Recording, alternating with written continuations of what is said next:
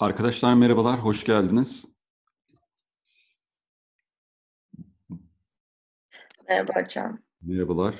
Bugün e, dairede alan ve çevre yapacağız. Matematikle ilgili e, soruları e, seçip size göndermem gerektiği için normalde onu yetiştiremedim açıkçası. O yüzden bugüne geometriyi aldım. Hazır bu elimizin altındayken yapalım.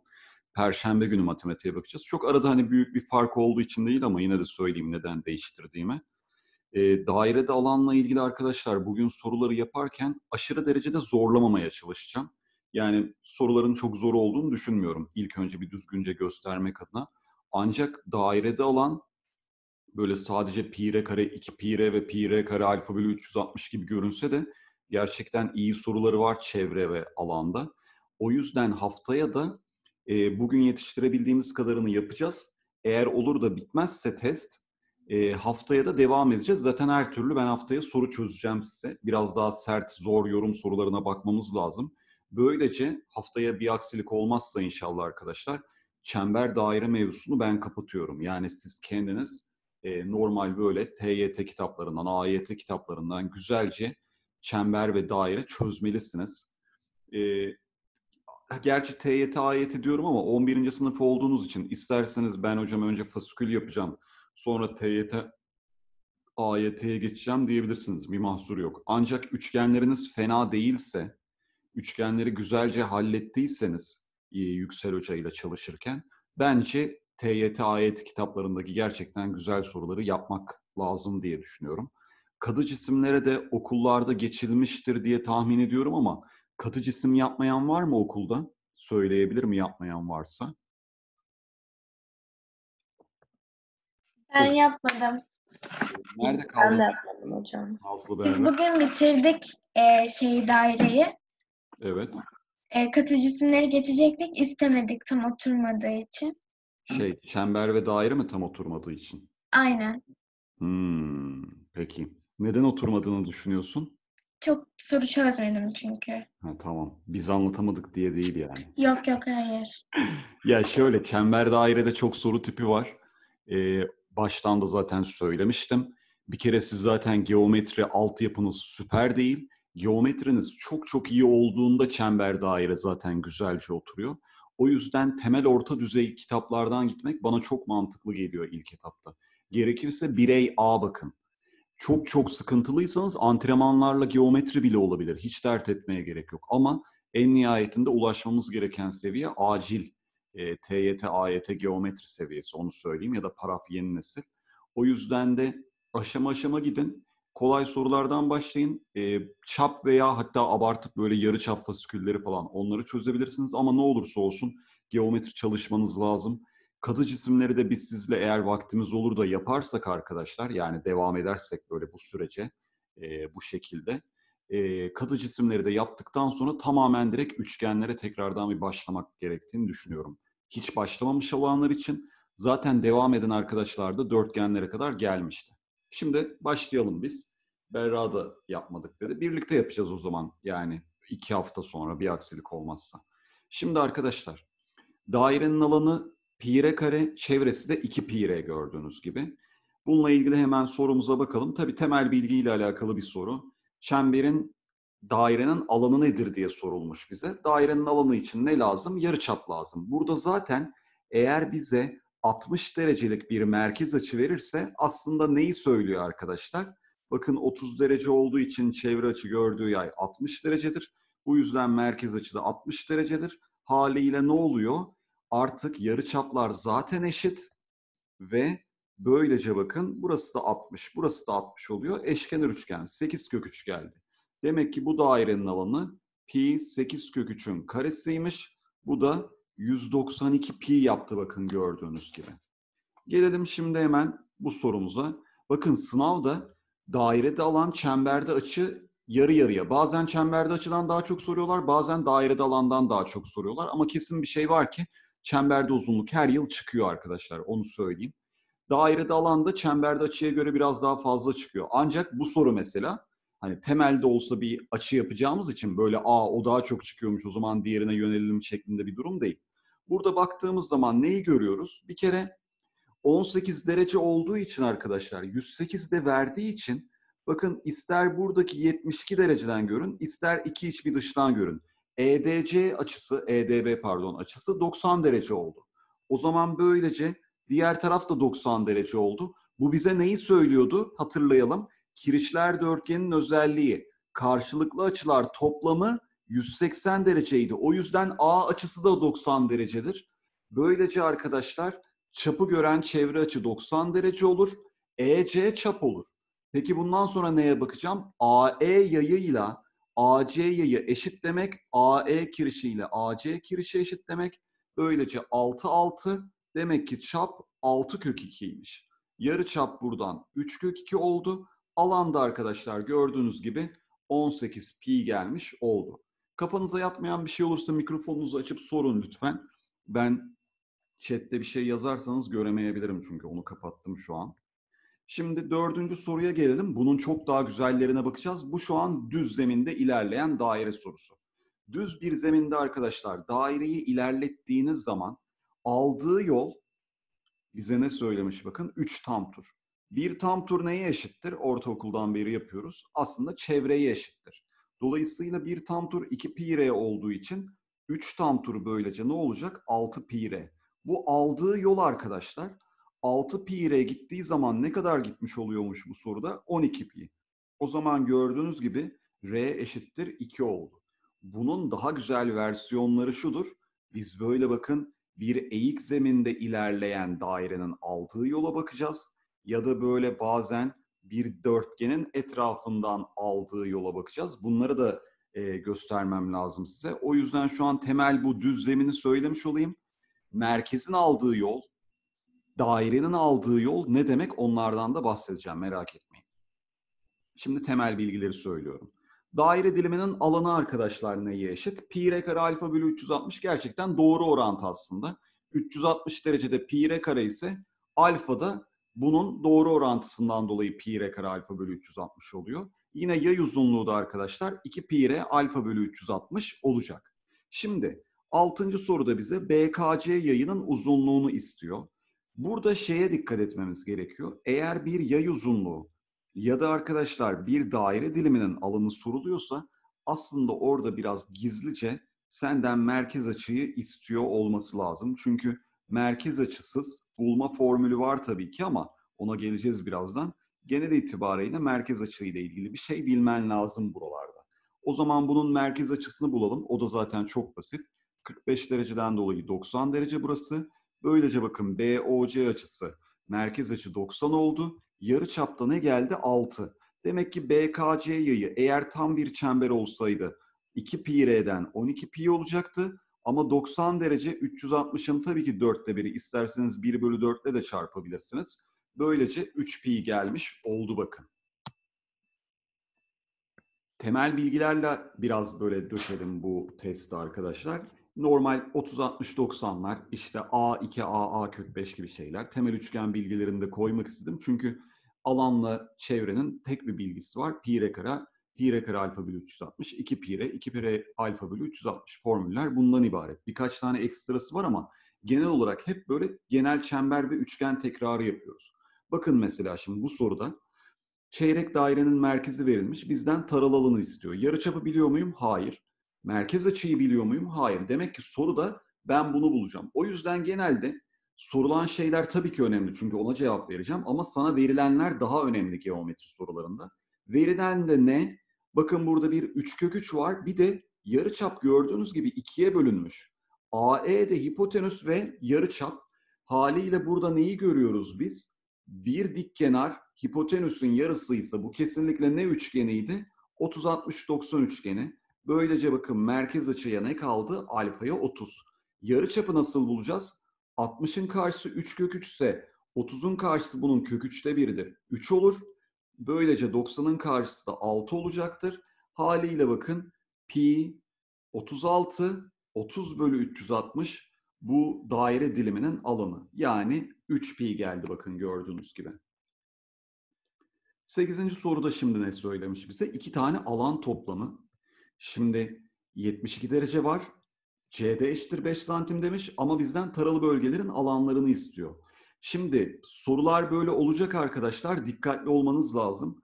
Bunlarda böyle ayrı ayrı bulmak da mümkündür tabii ama burada görmemiz gereken çok basit bir üçgen bilgisi var. Tabanları aynıysa ve eğer üçgenin tepe noktası aynıysa arkadaşlar bunların yükseklikleri aynıdır.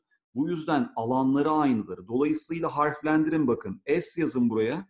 Burası da S olur. O zaman şu boş e, diğer taralı bölgeye de T dersem soru benden taralı alanların toplamını yani S artı T'yi istiyor. O aynı zamanda artık bakın ACD daire dilimine de eşit. O zaman soru benden bir nevi ACD diyorum pardon. OAD daire diliminin alanını istiyor. O da nedir? 25 pi 72 bölü 360 zaten 5'te 1 olacağı için 5 pi oldu. Üçgende alanda söylerim, dörtgende alanda da söylüyorum arkadaşlar. Çember dairede de fark etmez. Taralı alan sorularında ben harflendirmenizi tercih ederim. Burada zaten çok sıkıntılı bir soru değil ama gıcık soru modelleri de olacak. Harflendirmek biraz görmenizi arttırır. Şimdi burada ne demiş? ATO merkezli çemberi T noktasında teğet. AOC 30 derece. AT 8 santim, AB 4 santim. Bakın yine daire diliminin alanı isteniyor ama yarıçapı bilmiyoruz. Nasıl bulacağız? AT ile BA nasıl işime yarayacak burada? Şimdi bir kere malum çemberde uzunluktan hatırlayalım. Hep adım adım gidiyoruz sonuçta. Bunları bak bir artık burada kullanıyoruz. Teğet verdiğinde dik indir diyordum. O yüzden işte burada da teğet varsa madem uzunluk sorusu aynı zamanda bilmem lazım yarıçapı. Böyle bir dik indirdim. R oldu OT. OB de R'dir yarıçapı olduğu için artık bir Pisagor R kare artı 8'in karesi eşittir R artı 4'ün karesi. Ama 8 ile özel üçgeni düşünürsen bence daha hızlı olur. 6, 8, 10 üçgeni oldu. R hakikaten 6 verince çıktı bakın. Şurası da 6 oldu. Toplamda 6, 8, 10 geldi. Demek ki yarıçap 6'ymış. Tüm dairenin alanı 36 pi. 30 bölü 360 yapacağız. Böylece bunun zaten 12'de biri olacağı için cevap da 3 pi olmuş oldu. Bu şekilde bakın. Gayet normal, düz aslında konuyla ilgili sorular. Hele bir de okulda gördüyseniz üzerine aynı şeylerin bir nevi tekrarı gibi oluyor. Ben tabii ekstra yerlere muhakkak değineceğim. Yoksa aynı şeyleri yapmanın çok da anlamı yok ilk etapta. Şimdi daire parçası diye bir şey var. İşte bu taralı alan. Bunun için özel bir formül bilmeye gerek var mı? Hayır. Dilimin alanından üçgenin alanını çıkar. İşte sana parçanın alanı. Yalnız bununla ilgili şöyle söyleyeyim. Ee, bazı sorularda arkadaşlar bu parçaları uygun yerlere taşıyacağız. Yani sadece böyle ayrı ayrı parçaları bulacakmışız gibi düşünmeyin. Ee, onun da örneğini göstereceğim. Evet sadece parçayı istiyorsak tamam bu. Ama ekleme, çıkarma, yapıştırma bu sorularda yapmamız gerekiyor. Bakalım şimdi. Çemberin merkezi arkadaşlar O olarak verilmiş. ABC'de de bir kare, taralı bölgenin alanı soruluyor. Çok basit bir kare bilgisini hatırlıyorsunuzdur diye düşünüyorum. Karenin köşegenleri arkadaşlar dik kesişir. Hatta karenin köşegenleri aynı zamanda böyle birbirine ortalar, birbirlerine de eşit oldukları için burada bakın yarıçap 4 olacak. Aslında onu söylüyor sana. Aynı zamanda şurası da gördüğünüz gibi 90 derece. Bundan dolayı artık ne söylerim? Bir, daire diliminin alanı 16 pi 90 bölü 360 eksi dik üçgenin alanı dik kenarların çarpımının yardımıyla bulunabilir. Böylece 4 pi eksi 8'miş arkadaşlar. Bu basit sorunun cevabı. Ben tabii böyle basit falan diyorum ama lütfen geometri bu arkadaşlar. Görme işi. Olur da böyle aklınıza takılan bir şey olursa lütfen sorun. Şimdi ne demiş? 30 derecelik bir ne var burada? Hatırlayalım. Bu neydi? Teğet kiriş. Çok basit ama önemli bir şey.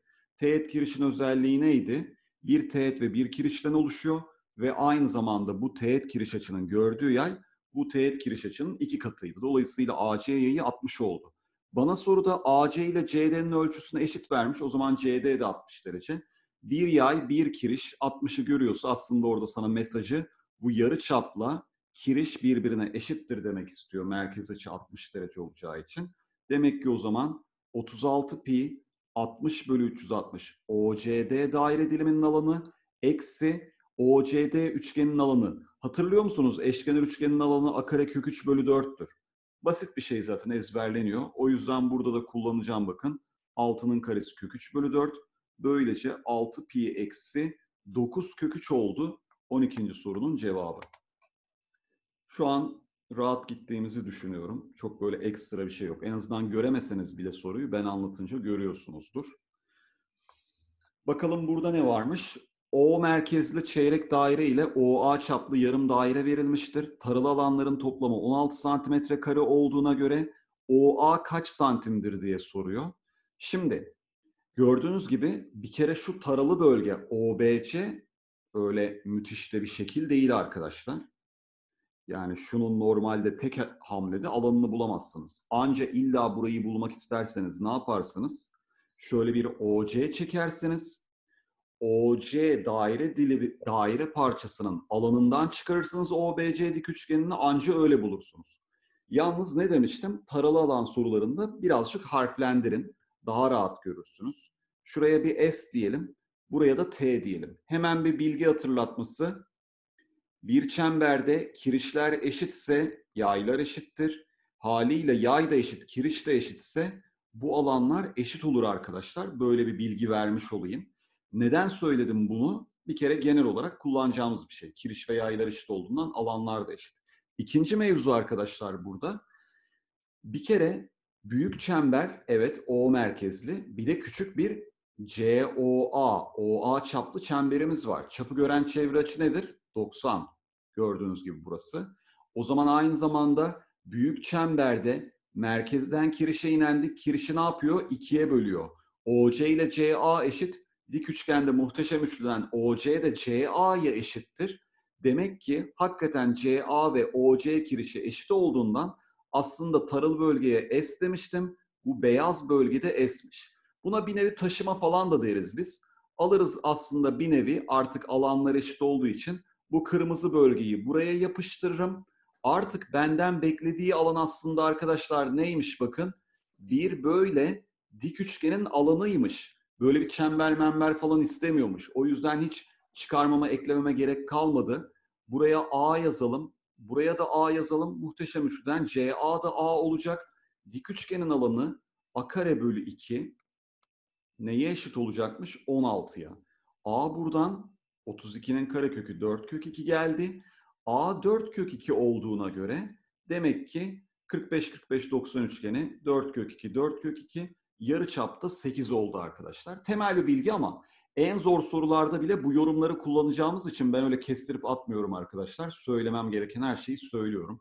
Bunları çünkü geometride hiç riske girmem ben. Basit, zor falan ayrımım yok. Önemliyse önemli. Bu çok basit ama önemli bir şey. Karşına bir sürü soru da gelecek. O yüzden kullanmamız gerekiyor. Düzgünce öğrenmeniz lazım. 14. soruda ne var? Tahmin ediliyor az çok ama ben düzgünce göstereyim. Bir paralel kenar verilmiş. Çemberin içindeki paralel kenarın özelliği şu aslında. DE kirişi ile AB kirişi birbirine paralel olduğu için ne söylüyorduk? İki tane kiriş paralelse aradaki yaylar aynıdır. O zaman bu soruda EB kirişini çekerseniz DA ile EB eşit olur. Bu bir. Çok basit ama önemli bir söyleyelim yine de. İki, paralel kenarın karşılık kenarları eşittir. Dolayısıyla EB ile BC eşit olur. Böylece burada tahmin ediliyordu ama ispatladık. Bir eşkenar üçgen çıktı. 60-60-60 oldu. Sonra neye bakacağız? Artık DA kirişi ve DA yayı aynı olduğu için bu taralı bölgeyi al, yapıştır böyle EB'ye. Yine benden beklentisi neymiş? Aslında daire falan değil. Bir eşkenar üçgenmiş arkadaşlar. Böylece EBC'nin alanı eşkenar üçgenin alanından a kare kök 3 bölü 4 yani 4 kök 3 gelmiş oldu. Şimdi burada önemli bir mevzu var arkadaşlar. Bazı sorularda merkez açıyı vermeyecek. Merkez açısız yapacağız. Nasıl yapacağız peki? Size yay uzunluğunu verir ya da yay uzunluğu ile ilgili bir yorum yaptırır. İşte bunda da arkadaşlar alanımız şöyle. Buraya L yazayım. RL bölü 2 sanki üçgenin alanını buluyormuşçasına yay uzunluğu verilirse daire diliminin alanını da bulabilirsiniz. Aslında bu müthiş bir bilgi değil. Nereden geldiğini göstereyim size. 2 pi r alfa bölü 360 l'ye eşit ya. Normalde de alanımız ne?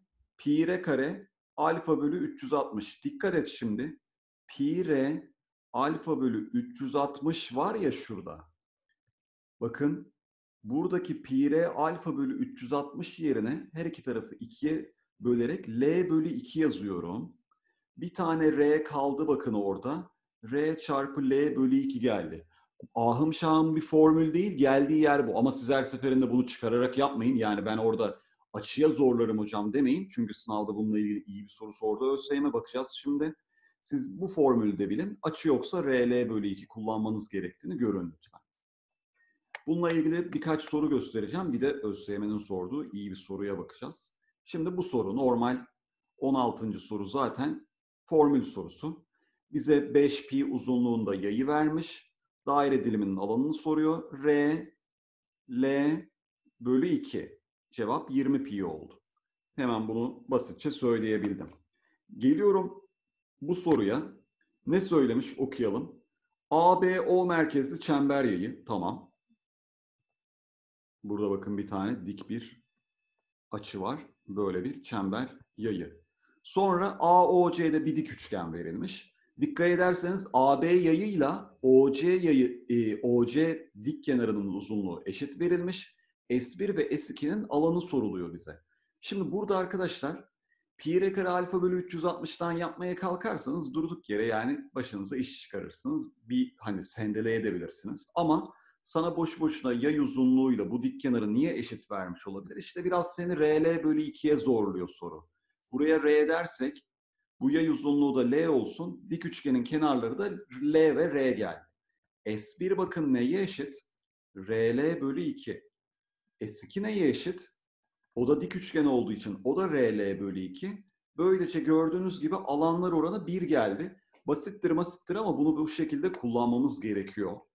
Şimdi ben 18. soruda bir sizi beklemek istiyorum arkadaşlar. Öğretmenleriniz bu soruyu sınıfta sormuş olabilir güzel olduğu için. Ee, bir daha bir bakın. Ee, cevabı olan da söylesin. Bu soru için ben bir size bir buçuk dakika süre veriyorum arkadaşlar.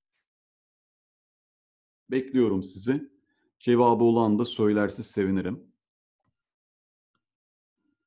Hocalarınız peki bu soruyu sordu mu hatırlıyor musunuz? Ben e, de, derste mesela bunu kendime anlatırken zaten gördüğünüz gibi soruyorum ama çember ve daire alan anlatılırken muhakkak sorulması gereken bir soru.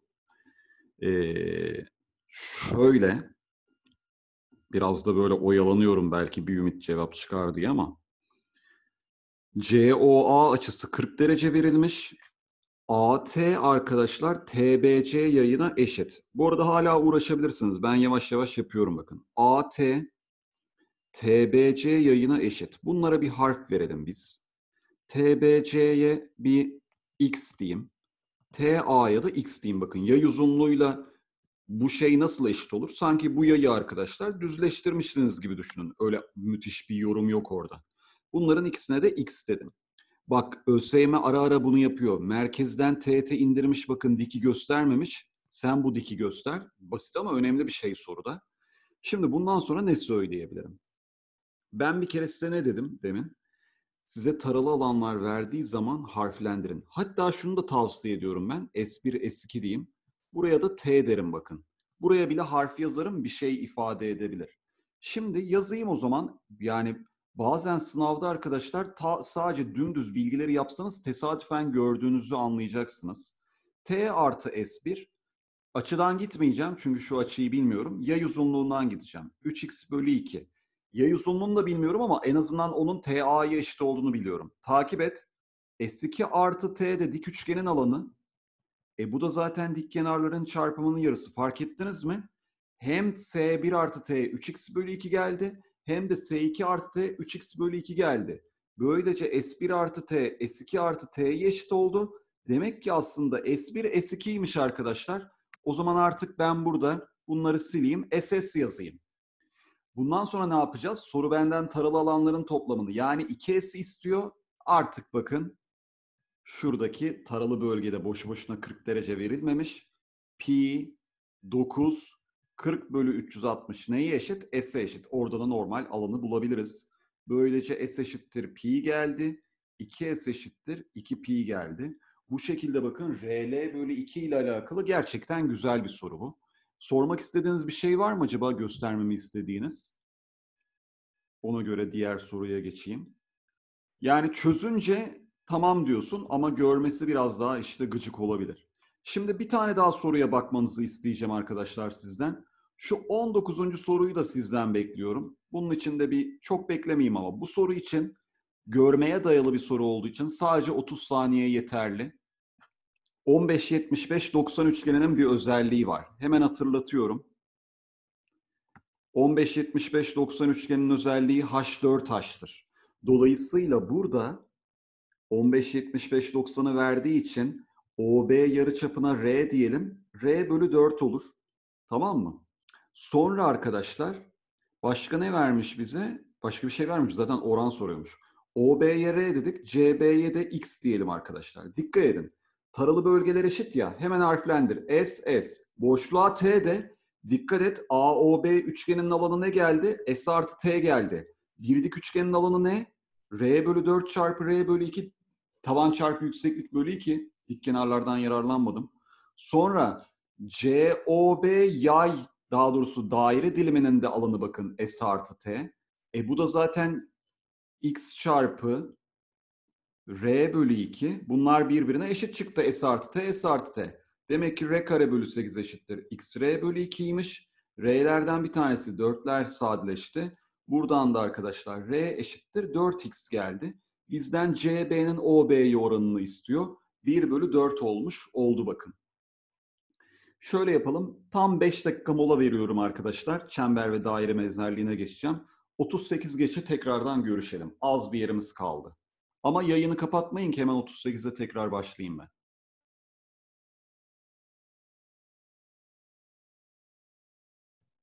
Evet arkadaşlar, şimdi kaldığım yerden devam ediyorum. Çember ve daire benzerliği. Ne demek çember ve daire benzerliği? Normalde zaten çember ve daire, daireler daha doğrusu işte.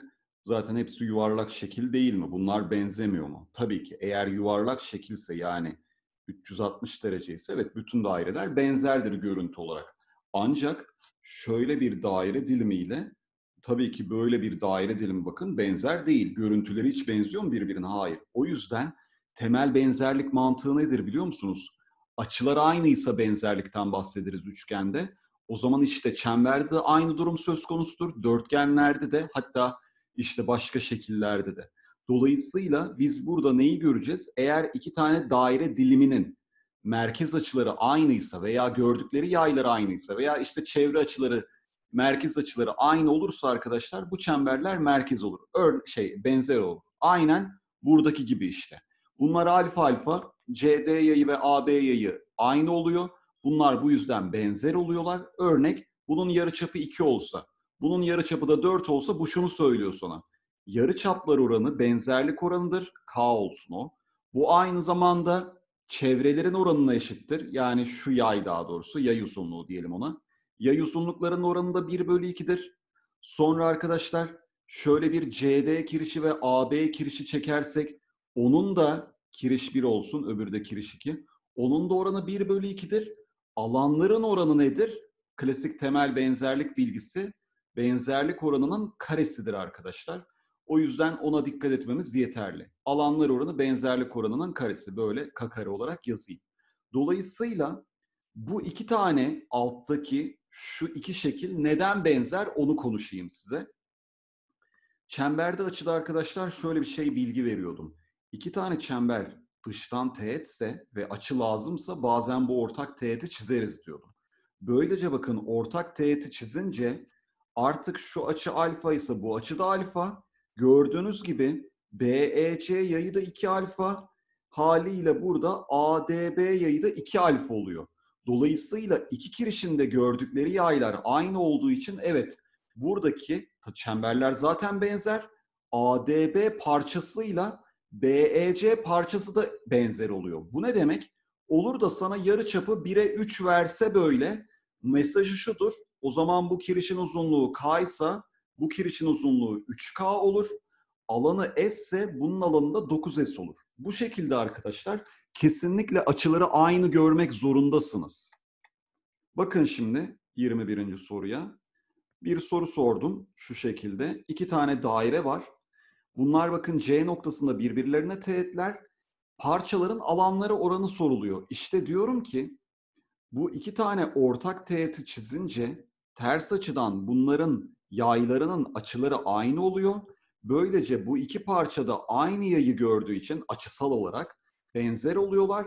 Böylece benzerlik oranı yarıçapın oranına eşittir, kirişin oranına eşittir, yay uzunluklarının oranına eşittir, çember olsa dairenin çevresine eşittir derdim. Dolayısıyla burada artık kirişlerin oranı ne? 4 bölü 6. Bu ne demek oluyor? Yarı çapların oranında arkadaşlar 4 bölü 6'dan 2 bölü 3. Karesini alırsak 4 bölü 9'muş arkadaşlar. S1'in S2'ye oranında o zaman ters çevirirsek 9 bölü 4 oldu. Bu şekilde benzerlik tamamen açı üzerine kurulu. Herhangi iki tane daire parçası, herhangi iki tane daire dilimi yapacaksanız her zaman bu açıya ihtiyacınız var. Bakın şimdi 22. soruda da bir benzerlik var. Göstereyim. Şöyle bir benzerlik var. Yine açı yorumuyla söyleyeceğim size. Bunu böyle çizince ortak teğetlerini, içten teğet oldukları için. Uzunlukta ne yapıyoruz biliyorsunuz? Böyle. Ama açıda da ortak teğeti çiziyoruz. Haliyle bakın burada şöyle bir benzerlik var. Takip edin. Alfa açısı hangi yayı görüyor? AB yayını görüyor. Aynı zamanda alfa açısı hangi yayı görüyor? AC yayını görüyor. O zaman AB kirişiyle AC kirişi benzer. Ve AB'nin oranı AC'ye ne? 3 bölü 9. Çünkü AB 3 santim, AC'ye de 9 santim verilmiş. Bu her zaman arkadaşlar benzerlikte yarı çapların oranına eşittir. Unutmayın, onu demin de söyledim. Yarı çap, yay ve kiriş. Bunların oranı aynıdır, açıları aynıysa. Böylece artık benzerlik oranı 1 bölü 3 bu çemberlerde her şeyleri 1 bölü 3 oranına sahiptir.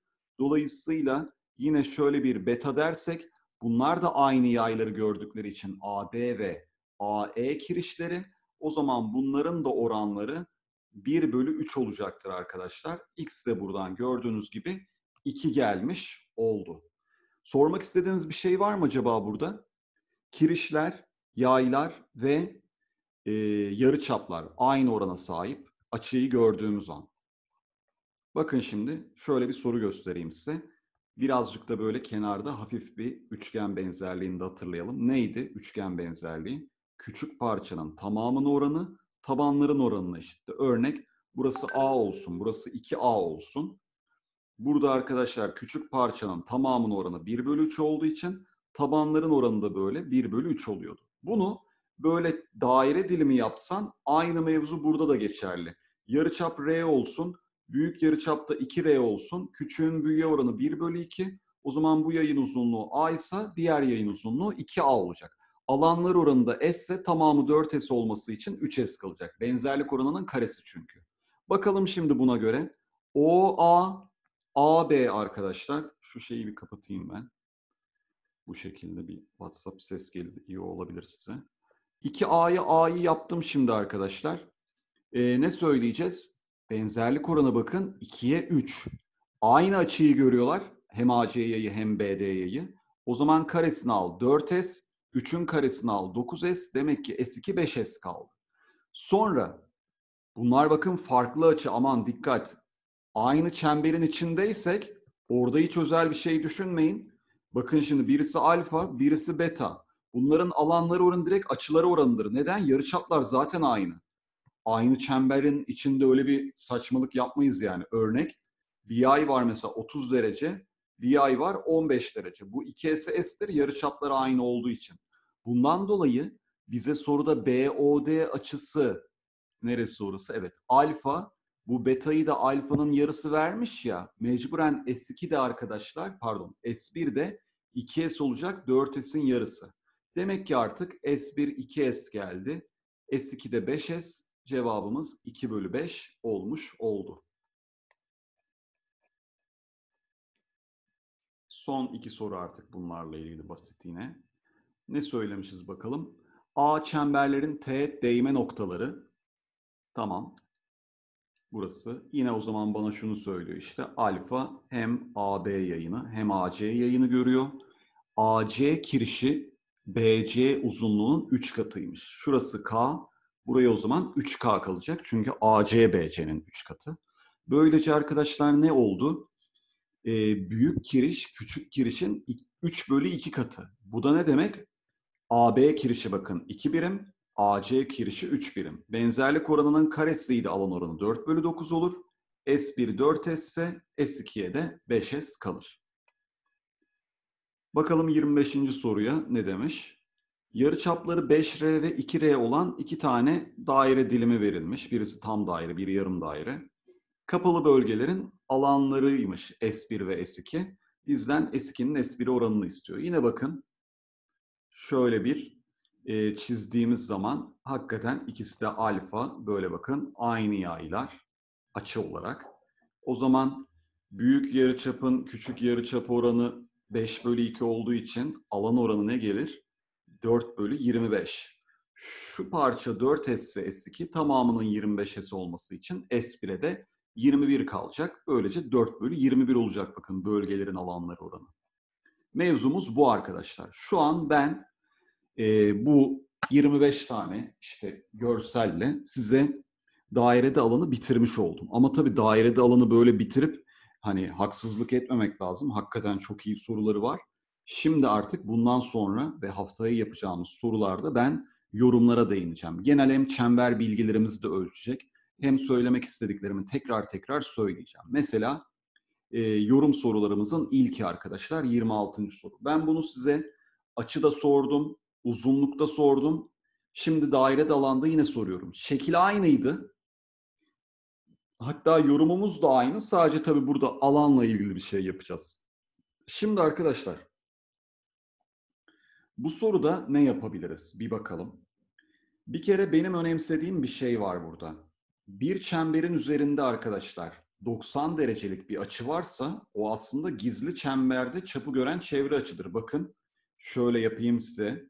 Şimdi çemberin üzerinde olsun bu nokta biraz tam üzerine denk getireyim. Şöyle bir çember. Burada böyle bir 90 derece var. Sen bunu ne yapacaksın? Devam ettireceksin böyle.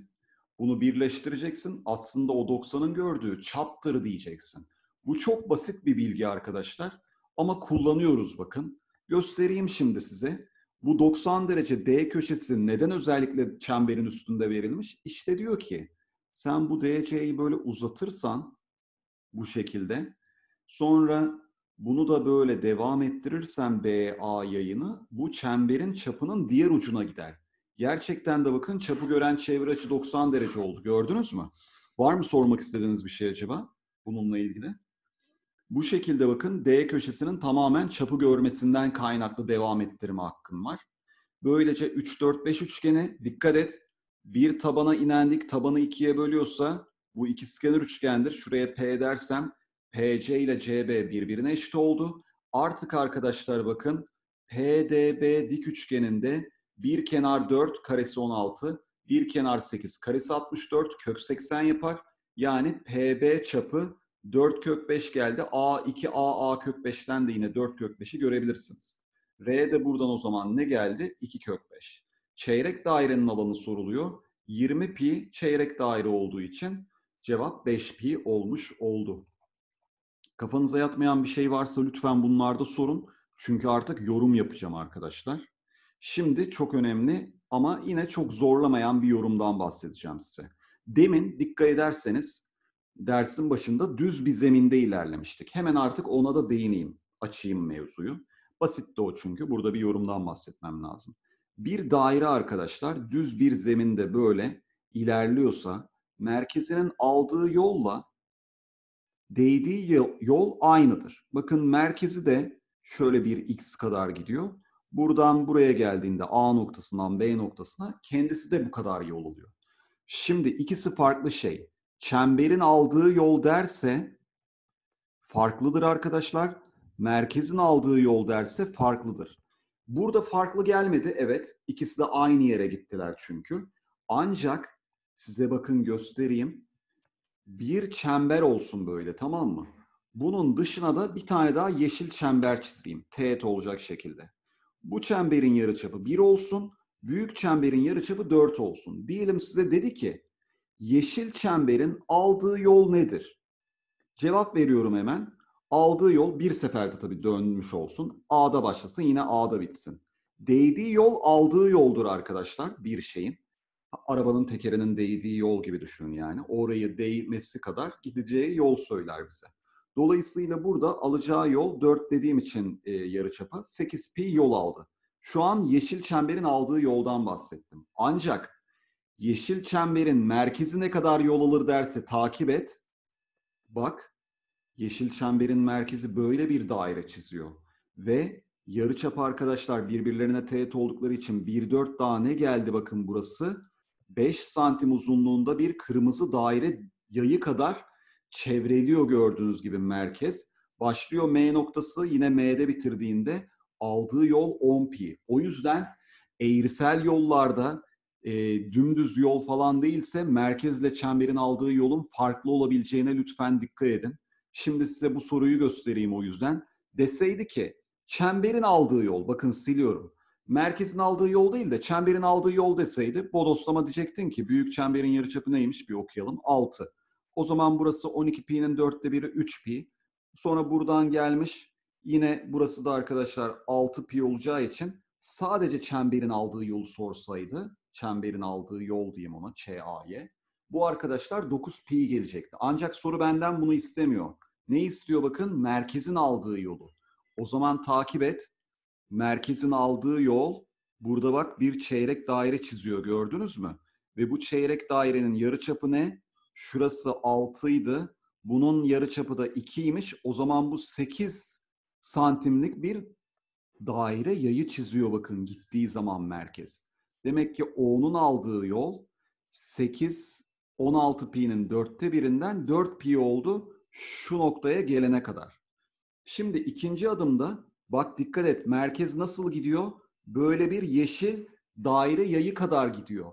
Ve büyük çemberin yarıçapı 6 idi. Küçük çemberin yarıçapı 2 idi. O zaman araya bak 4 santim kaldı. Buraya da O3 diyelim böyle. Gördünüz mü? 4 santimlik bir yarıçap uzunluğu kadar çap şey e, yay çiziyor böyle. O zaman burası da 8 pi'nin yarısı. 4 pi kadar da burada gitti. Toplamda o zaman 4 pi artı 4 pi'den 8 pi yol almış arkadaşlar. Bunun farklı versiyonları da var böyle yorum soruları. Onlardan ben çözmeye devam edeceğim. Hatta dur ya bir tane göstereyim size. Nasıl olsa artık yorumlara girdik. Bunun e, diyelim birkaç soru kaldı. Devam ederiz haftaya. Bakın şimdi ama neyse ya haftaya söyleyeyim. Şimdi bir yere girerim bir de çıkamaz, çıkamayız soracağınız soru olur. En azından şunları göstereyim. Kafamda bir şey vardı da nasıl olsa soracağım yine bakarız haftaya. Şimdi şu e, otlatma soruları falan oluyor. Karşınıza gelmiştir ya da öğretmenleriniz çözmüştür. Ya da kulübe işte ya da ip böyle gidebileceği maksimum bölgeyi soruyor bize. Okuyorum bakın. Bekçi köpeği, şey bekçi köpeği Karabaş. O ne ya? Virgül ne biçim kaymış ya? Bekçi köpeği Karabaş. Ee, eni ve boyu birer birim olan kulübesinin köşesine iki birimlik bir iple bağlanmıştır. Cümle düşük anladınız işte ne demiş? Ee, burada arkadaşlar köpek e, birer kenarı bir birimlik olan bir kulübeye böyle şu ucundan bağlanmış. Diyor ki Karabaş'ın gezebileceği bölgenin alanı içine girmemek şartıyla en fazla kaç birim karedir? Şimdi burada tabii üç boyutlu çizilmiş. Burada arkadaşlar tavsiyem size böyle bir soruda hemen iki boyuta indirgeyin yoksa kafanız karışır. Şimdi dikkat edin. Böyle bir A noktası olsun. A noktasında e, karenin bir kenarı bakın bir birim. Bu içeriye giremeyeceğiz. Böyle etrafta dolaşabileceği maksimum alanı bulacaksın. Bu ne demek? Söyleyeyim bakın. Şimdi bunun ipinin uzunluğu iki birim ya böyle. Bu arkadaşlar böyle buraya gider. İşte böyle bir illa ipinin maksimum böyle e, gergin al, olacağı kadar yere gitmesine gerek yok. Buralarda böyle dolaşır. Her noktasına burada gelir. İpi böyle çok e, gergin vaziyette tutmazsam. Böyle bakın gidebiliyor bu köpek her yere. Gidebileceği maksimum uzunluk burası. Tamam mı? Sonra burada gidebileceği maksimum uzunluk böyle burası. Sonra arkadaşlar burada gidebileceği maksimum uzunluk burası. Burada gidebileceği maksimum uzunluk burası. Şu anlık bir kısmında bakın bir şeyler oluşturdum. Sonra arkadaşlar bu böyle, böyle, böyle, böyle gidebileceği maksimum uzunluklar fark ettiniz mi? Bir daire oluşturuyor. Buradaki her noktaya gidebiliyor bu karabaş, köpek. Dolayısıyla arkadaşlar yine buradaki her noktaya gidebiliyor. İpi çünkü müsaade ediyor. Maksimum bir çember yayı oluşturur. Neden? Bir noktadan eşit uzaklıktaki doğrular arkadaşlar bakın çizeyim size. Bir noktadan böyle eşit uzaklıktaki noktalara dikkat edin. Gerçekten çember oluşturuyor. Şurada yapayım bir. Gördünüz mü? Hakikaten bir çember oluşturuyor. O yüzden işte bir daire yayı, daire dilim oluşuyor. Burada bu kadarlık bölgeye gidebildi. Sonra yine burada bu kadarlık bölgeye gidebildi. İlk etapta 270 derecelik yarıçapı 2 olan bir kısmı dolaştı. Her yerine gitti bu dairenin. O da ne yapıyor? Normalde 4pi'dir alanı ama 270 bölü 360'tan 3 bölü 4 şu an 3pi'lik bir alan dolaştı. Şimdi dikkat edin yalnız. Karabaş bir de nereyi geçiyor arkadaşlar? 1 olduğu için şurada okla göstereyim. İpi biraz müsaade etti bak. İpi burada şu noktada ipi böyle kaldı. O zaman buraları da dolaşır. Müsaade ettiği yer ta nereye kadar? Buraya kadar. Bir birim gittiği için bir birimlik yarı çaplı bir daire dilimi kadar hakikaten burada bakın dolaşabiliyor. O zaman ne oldu? Şöyle bir daire dilimi daha gitti. Buraları da gezebildi. Bunun yarıçapı da ne? 1. Mavi bölgenin alanı ne olacak o zaman? 1'in dörtte biri pi bölü 4. Bu bölgenin alanı yine bak dikkat et şimdi. Şurada yine ipin 1 santimlik kısmı kaldı. Burada da yine buraya böyle gelebiliyor gördüğünüz gibi. O zaman burada da bir çeyrek dairelik e, alanı dolaşabildi. Burası da o zaman pi bölü 4 oldu arkadaşlar. İşte toplam dolaştığı bölge. 3 pi vardı zaten demin cepte. Bir de pi bölü 4, pi bölü 4 daha pi bölü 2 geldi. 3,5 pi oldu. Yani 7 pi bölü 2'ymiş. Bu soru önemli. Bundan yine bugün vaktimiz olursa kalırsa bir tane daha göstereceğim. Sınav sorusu var bakacağız haftaya.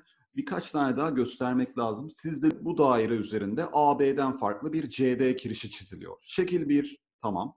Şekil 2'de arkadaşlar bunu ne yapmış? Kesip arkadaşlar CD'yi katlamış aşağı doğru. Sonra ne demiş? Buna göre kalan şeklin çevresi nedir diye soruyor. Pembe olan en son sağdaki üçüncü şekilde çevreyi bulacağız. Bunun cevabı arkadaşlar direkt net söylüyorum. 10 pi. Neden? Şimdi biz zaten şu kısım etkilenmiyor. Bu kısım aynen devam bakın. Burası zaten dairenin geri kalan kısmı. Şimdi şu kısımda CD kısmı da gidip buraya katlandı. E zaten buranın uzunluğu x, buranın uzunluğu y olsun. Çemberin çevresi x artı y toplam ilk baştaki uzunluk 10 pi değil mi? E sen şimdi burada artık yeni durumda son üçüncü şekilde ilk y yine aynen kalıyor. Çevre dediğin şey bu da dahildir. O da x zaten katladığımız için. O da x artı y geldi ve yine cevap 10 pi olmuş oldu. Gördüğünüz gibi mevzu bu sadece. Harf bile versek geliyor bakın. Tabii ki yine böyle basit falan diyoruz ama bazen göremediğiniz bir şey oluyor. Lütfen sorun öyle noktalarda. Şimdi size ÖSYM'nin sorduğu enteresan bir soruyu göstereceğim. Bakın şimdi bu 31. soru. Sınavda bu soruyu sordu arkadaşlar gerçekten. E, sayılar da aynen böyleydi. 3 4'tü.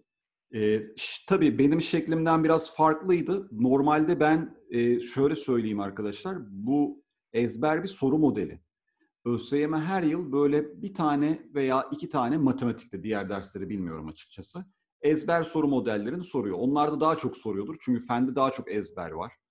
E, o yüzden de genelde fene hakkıyla çalışırsanız sayısallar için söylüyorum. E, karşılığını alma ihtimaliniz yüksek. E, zaten edebiyat eşit ağırlıkçılar için ezberden oluşuyor resmen. Yüzde doksanı. E, haliyle orada zaten ezber var. Matematikte de birkaç tane oluyor. Şimdi bu arkadaşlar ezberini bilirseniz direkt yapıştırayım cevabı 6. Bilirseniz ama. Şimdi ben o yıl bu soruyu anlattım öğrencilere. E, çoğu arkadaşlar kuralı hatırlayamadığı için şeyden çözmüş, uzun yoldan çözmüş. O yüzden ben de size ezber bilgiden dolayı değil, normal bir uzun uzun göstermek istiyorum. Çünkü sıkıştığınız zaman sizin öz yorumlarınız önemli arkadaşlar. E, AC uzunluğu 3, BC uzunluğu 4. Burada zaten mecburen bu ACB bir daire dilimi olduğu için Çapı gören çevre açı 90 derece. AB'nin çapı da 5 geldi. Küçüğün yarıçapı en küçüğün 3 bölü 2. Ortancanın 4 bölü 2 diyelim. Kesirle uğraşmayalım sonra. R3 de 5 bölü 2. Şimdi mecbursun taralı alan çoksa harflendir. En azından üçgenin alanı 3 çarpı 4 bölü 2'den 6. Sonra arkadaşlar buraya bir şey diyemem A. Burayı bilmiyorum B. Şurayı bilmiyorum C. Burayı bilmiyorum D. Takip et şimdi beni. 4 tane harf. Genelde pek tarzım değil ama hiçbir şey yoksa yapabileceğim bir şey yok. Bakın şimdi. AC çapı 3 olduğu için yarı çapı 3 bölü 2 olduğundan A artı C ne oluyor? 9 pi bölü 4'ün yarısı 9 pi bölü 8. Çünkü yarım daire. Sonra arkadaşlar e, nereye geldim? B artı D. B artı D de arkadaşlar yine yarım bir daire. Yarı çapı e, 4 bölü 2 diyeceğim kesirlerle uğraşmamak için. 16 pi bölü 4. O zaman bu da 16 pi bölü 8 oldu. Gördüğünüz gibi. B artı D'nin alanı. Sonra şu arkadaşlar büyük, en büyük dairenin toplam alanında A artı B artı 6. Onu da böyle A artı B artı 6 diye yazayım. Yarıçapı 5 bölü 2 olduğu için 25 pi bölü 8 oldu gördüğünüz gibi. Şimdi artık şöyle bir şey görüyorum. Benden istediği neydi? C artı D.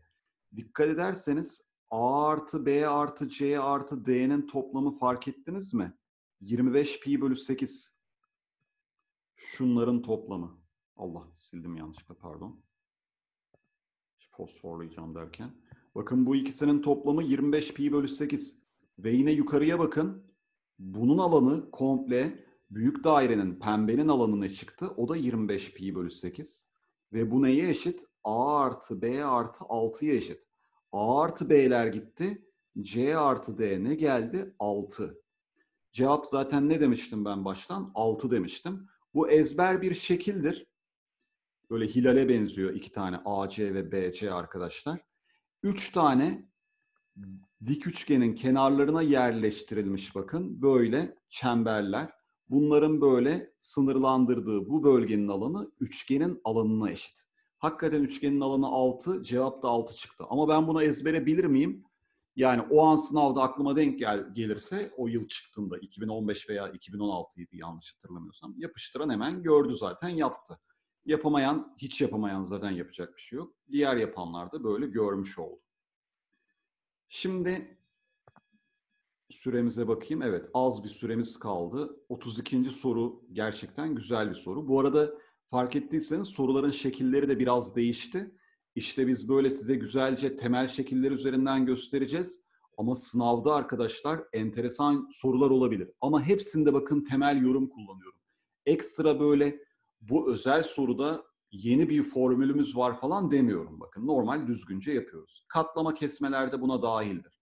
Sadece katlama kesmelere yavaş yavaş alışın. Bol bol karşınıza gelecek. Bir bilgi hatırlatayım katlamalarla ilgili ve kesmelerle ilgili. Siz bir şekli diyelim böyle bir D doğrusuyla aşağı doğru katladınız. Burada neyi göreceksiniz? Katladığınızda uzunluklar değişmez. Ve katladığınızda açı ortay olur bir nevi D doğrusu. O yüzden alfa alfa olur. Temel bilgi budur. Bunu bilirseniz üzerine gitmeniz daha mantıklı. Bunu hiç bilmeden zaten olmaz. Ama bunu bilmek de yetmeyebiliyor. Bakalım şimdi soruda ne demiş? Şekil 1'deki O merkezli yarım daire DB boyunca katlandığında şekil 2'deki gibi dairenin merkezinden geçiyor. Bak bu çok önemli. Boşu boşuna tesadüf değil o. Çemberin merkezinden geçiyormuş. DB kirişinin uzunluğunda 6 kök 3'müş. Şekil 2'deki kırmızı bölge yani şurayı diyor arkadaşlar. Bu kırmızı bölgenin alanı nedir demiş. Göstereyim bakın size. Ben genelde arkadaşlar ana şekil üzerinde çalışıyorum. Katlanmamış şekil üzerinde kendimi bir daha katlıyorum ki zihnimde biraz daha güzelce otursun şekil. Şimdi bunu böyle katlıyormuşuz. DOB'ye geliyormuş bakın. Alttaki şekli oluşturdum böyle size. Hatta böyle yapayım gördüğünüz gibi. Burada neyi görmem lazım şimdi benim? Bir kere ee, şöyle bir şey yaparım bakın. Madem burada bir merkez var. Merkezden de geçiyormuş. Kirişe dikindiririm tamam mı? Bak dikkat et. Hatta bunu da böyle devam ettiririm. Şimdi şurası e, e noktası olsun. Burası da F noktası olsun. OE uzunluğuyla EF uzunluğu eşittir. Neden? Çünkü katlandığında demin ne dedim? Bir şekli siz katlarsanız öbür tarafa doğru simetrik olarak katlanır ve asla uzunluk değişmez arkadaşlar. Dolayısıyla buna dikkat etmeniz ilk etapta yeterli. İki, bakın şimdi. Burada biz OE ile EF'nin eşit olduğunu görünce soru bitiyor. Neden? OER bölü 2, hatta onu farklı bir renkle göstereyim pardon. OER bölü 2, e, OB zaten R. Bu bana neyi hatırlatıyor? 30-60-90'ı. Demek ki arkadaşlar burası 30 dereceymiş. O zaman burası 60 dereceymiş. Merkezden kirişe inendik. Kirişi 2'ye böler. 6 kök 3 olduğu için 3 kök 3 olur. Böylece 60'ın karşısı 3 kök 3 ise 30'un karşısı 3. Yarıçap neymiş? 6. Yarıçapı buldum. Güzel. Şimdi şu bölgenin alanını nasıl bulacağım? ODA bölgesinin alanını. Onun için de beni takip etmeye devam edin. Şimdi ikinci şekle geçeyim artık. Birinci şekli yeterince karıldık. OD'yi birleştiriyorum arkadaşlar. Bakın böyle. OD'yi birleştirince zaten şu B açımız 30 dereceydi. Bu arada arkadaşlar yarıçapları eşit olduğu için tabii ki doğal olarak burası da 30 derece olur. O zaman burası da 60 derece. Bak dikkat et lütfen. Zaten yarıçaplar eşit olduğu için 60 derece 60 derece. Güzel. O zaman arkadaşlar ne çıktı fark ettiniz mi? Şu AD yeşille taradığım yayla kapatılan bölge buradaki bu bölgeye eşittir. Neden? Onun yukarıdaki katlanmamış haline lütfen dikkat et. Bak şimdi iyi izle. Neden öyle dediniz dersen şu DO aslında arkadaşlar neresi? Katlanmadan önceki DF. Dolayısıyla burası da bakın 60 derece olduğu için merkez açıdan nereyi görüyor? 60 dereceyi görüyor. Gerçekten DF'yi katladım buraya geldi ve o burası işte şu gösterdiğim şu kısım arkadaşlar ve o da mecburen buraya eşit oldu 60'ar derecelik dilimlerden dolayı. Artık o zaman şunu yapabiliriz. Soruda o yamuk yumuk görünen böyle eğrisel şey ne söylüyor sana biliyor musun? Al diyor DA'yı kes şuraya yapıştır. Böylece aslında alan neresi çıktı? Bir eşkenar üçgenin alanı soruluyormuş sana. Dolayısıyla bunun da bir kenarı arkadaşlar aldım bakın şu DA'yı buraya yapıştırdım.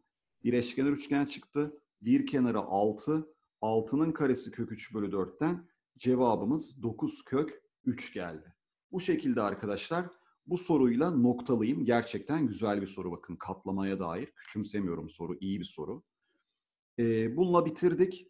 Normalde 33. sorumuz da var. Nasıl olsa haftaya zaten devam edeceğiz arkadaşlar. Bu modeli de göstereyim. Şöyle bir modelden bahsedeceğim size. Söylemek istediklerim bitmedi. Şu an konu olarak bitirdim. Siz temel düzey, orta düzey sorularınızı çözebilirsiniz. Çünkü o bütün klasik sorulardan bahsettim. Ben artık haftaya özel yorumlara devam edeceğim arkadaşlar. Burada olayı noktalayalım. Sizin şimdi 15 dakika sonra dersiniz de var. Vaktinizi de çalmayayım teneffüsünüzden. Ee, Perşembe günü arkadaşlar yüzde problemleriyle görüşüyoruz. Kendinize iyi bakın. İyi akşamlar.